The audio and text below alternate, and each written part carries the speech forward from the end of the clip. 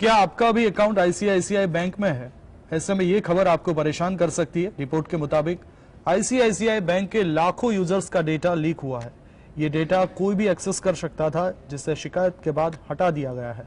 इसमें यूज़र्स के credit card से लेकर पासपोर्ट तक की डिटेल्स मौजूद थी। आइए जानते हैं, क्या है पूरा मामला।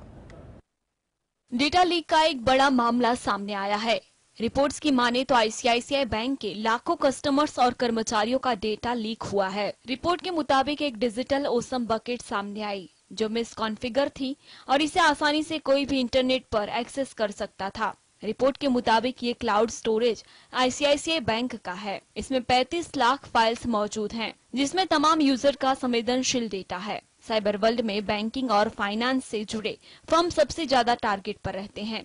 साइबर वर्ल्ड में बैंकिंग और फाइनेंस से जुड़े फर्म सबसे ज़्यादा टारगेट पर रहते हैं। स्कैमर्स कई तरह से लोगों से ठगी के फिराक में रहते हैं।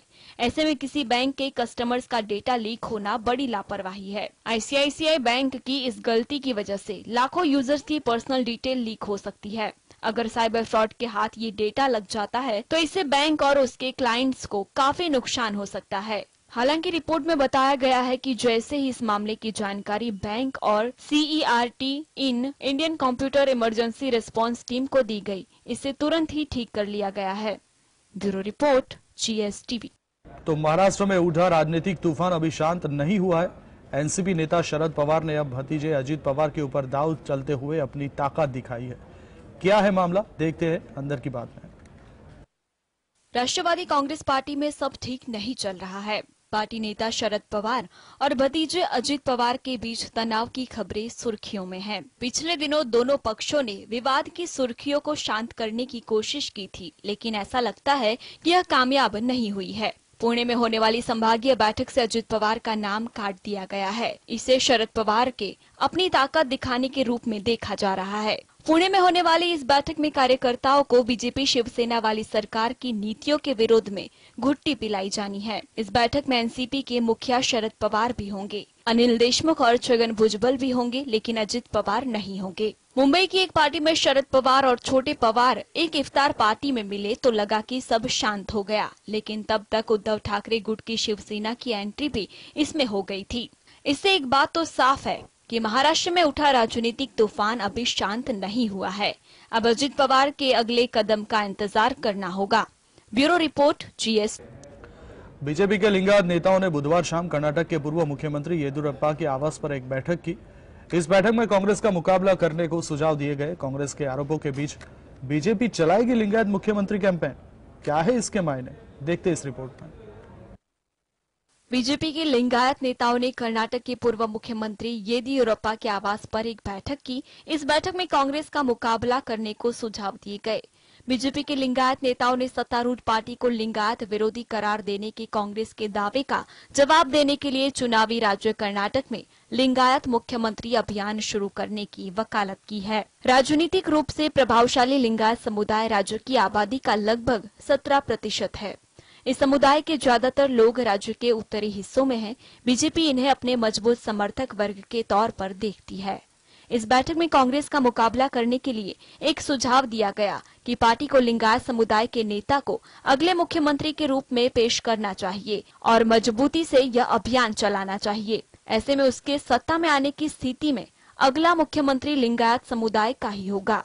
इस बात की मुख्यमंत्री बसवराज बोमाई ने पत्रकारों के सवाल का जवाब देते हुए पुष्टि की है। उनके मुताबिक बैठक में कुछ मुद्दों पर कांग्रेस की फैलाई जा रही भ्रामक सूचनाओं का दृढ़ता से मुकाबला करने का निर्णय लिया गया। ब्यूरो रिपोर्ट जीएसटीवी तो भारतीय जनता पार्टी के लिंगायत नेताओं ने सत्तारूढ़ पार्टी को लिंगायत विरोधी करार देने के कांग्रेस के दावे का जवाब देने के लिए चुनावी राज्य कर्नाटक में लिंगायत मुख्यमंत्री अभियान शुरू करने की वकालत की है।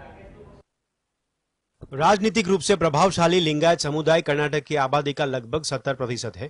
इस समुदाय के ज़्यादातर लोग राज्य के उत्तरी हिस्सों में रहते हैं। बीजेपी इन्हें अपने मज़बूत समर्थक वर्ग के तौर पर देखती है।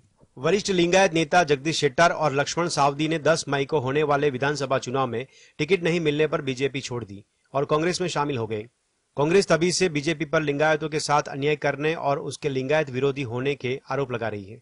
इसके मद्देनजर सत्तारूढ़ पार्टी नुकसान से भरपाई की कोशिशों में जुट गई है।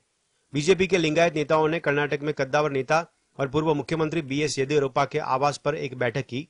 इस बैठक में कांग्रेस का मुकाबला करने के लिए यह सुझाव दिया गया कि पार्टी को लिंगायत समुदाय के नेता को अगले मुख्यमंत्री के रूप में पेश करना चाहिए और मजबूती से यह अभियान चलाना चाहिए। ऐसे में उसके सत्ता में आने की स्थिति में अगला मुख्यमंत्री लिंगायत समुदाय का ही होगा।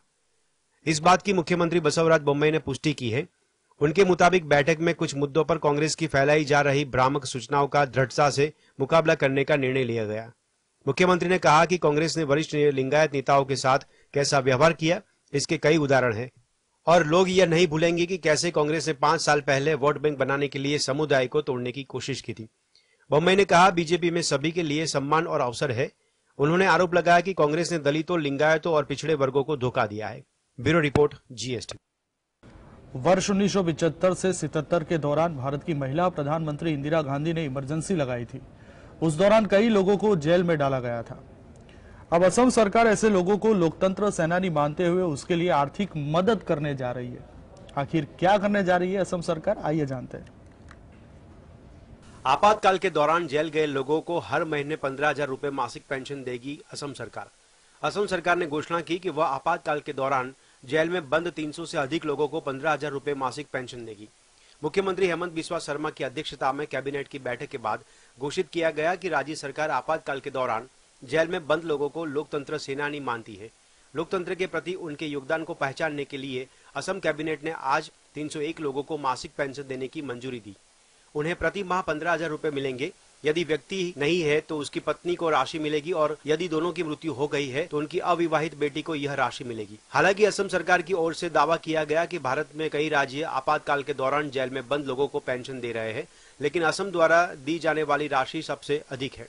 आपातकाल तत्कालीन प्रधानमंत्री इंदिरा गांधी द्वारा 1975 से लेकर 1977 तक 21 महीनों तक की अवधि के लिए लगाया गया था। ब्यूरो रिपोर्ट जीएसटीवी तो इस साल देश में 12,500 किलोमीटर राजमार्गों का विकास और निर्माण होगा। सड़क परिवहन एवं राजमार्ग मंत्रालय ने वर्तमान वित्त वर्ष के लिए यह लक्ष्य पाने की योजना बनाई है। वित्त वर्ष 2023-24 के लिए मंत्रालय ने 12,500 किलोमीटर लंबे राजमार्गों के निर्माण और 12,000 किलोमीटर लंबे राजमार्ग के विकास की परियोजना आवंटित करने का लक्ष्य रखा है। इस क्रम में वित्त वर्ष 2023-24 में बुनियादी ढांचा निवेश ट्रस्ट के ज़रिए दस हज़ार करोड़ रुपए जुटाने की योजना भी शामिल है। मंत्रालय ने 31 मार्च को समाप्त वित्त वर्ष में बताए गए राजमार्गों का अभी ब्यौरा नहीं जारी किया। इससे पहले वित्त वर्ष 2021-22 में उसने दस हज़ार चार सौ सत्तावन किलोमीटर, वर्ष 2020-21 में तेरह हज़ार तीन सौ सत्ताईस किलोमीटर और वर्ष 2019-20 में दस हज़ार दो सौ सैतीस किलोमीटर राजमार्ग बनाए थे। नवनिर्मित राजमार्गों पर वाहनों को लाइन में चलने के लिए साइन बोर्ड और रोड मार्किंग के विश्व स्तरीय मानकों का पालन किया जा रहा है।